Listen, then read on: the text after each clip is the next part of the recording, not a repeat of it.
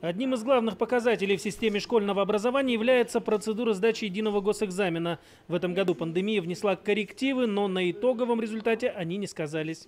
Объективный анализ результатов ЕГЭ этого года показал, что выросло количество учащихся как высокобальных, так и выросло количество учащихся, не преодолевших минимальный порог. Так, например, э, если отметить по э, высокобальным работам, выше 90 баллов получили 206 выпускников, больше 70 баллов набрали 917 учащихся – между тем, многие специалисты не ожидали таких высоких результатов, ведь последнюю четверть дети учились дистанционно. Но, как показала практика, уровень знаний, показанный школьниками, оказался высоким. Те результаты, которые ребята показали на, на э, прежде всего э, на процедурах единого государственного экзамена, они говорят о том, что э, город справился с задачей, в городе вы, выработаны серьезные методики обучения в дистанционном формате, активно развивается сетевая школа. Инициативы педагогов и школьников поддерживают и народные избранники. Так, например, депутаты Горсовета готовы рассмотреть финансирование и поддержку инновационных проектов. Конечно, поддержка бурятского языка. А, очень интересно. А, бурятский язык очень красивый. Не лишне будет его изучать всем, тем более, что мы живем в Бурятии. И там тоже очень много разных предложений, которые интересны для правильного изучения языка.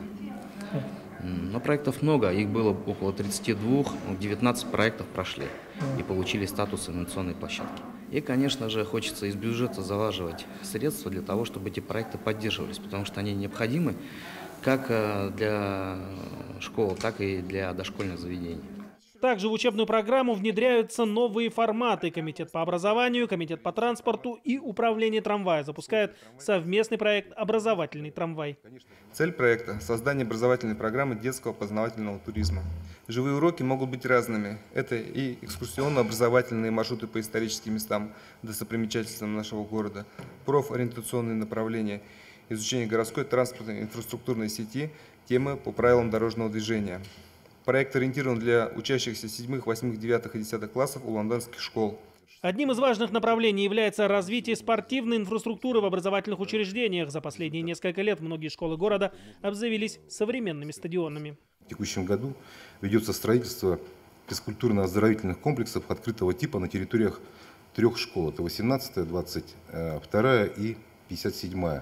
Ну а кроме того, не относится к отрасли образования вот, э, современные стадионы микрорайоне Тулунжа и детском оздоровительном лагере «Зорька». Между тем, главным вопросом в системе городского образования на сегодняшний день остается ликвидация третьей смены в школах. У нас практически каждый год идет увеличение учащихся. То есть каждый год на 3-4 тысячи в городе идет увеличение учащихся. И это, конечно, приводит к тому, что мы даже не успеваем строить школы. Хотя, как вы знаете, у нас 9 школ строится, 22 детских садика. Такого еще никогда в республике не было. Еще один немаловажный вопрос касается дошкольного образования. Ликвидация очередей в сады является первостепенной.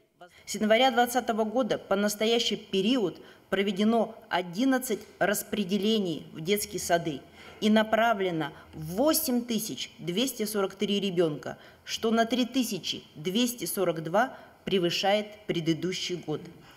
Созданы беспрецедентно благоприятные условия для частного сектора, так как количество частных учреждений – работающих в городе Улан-Удэ выросло с 24 до 66. На сегодняшний день частные детские сады посещают 2880 детей. Часть оплаты родителям компенсируют городские власти. Батар Ламбаев, Андрей Дармаев. Новости дня.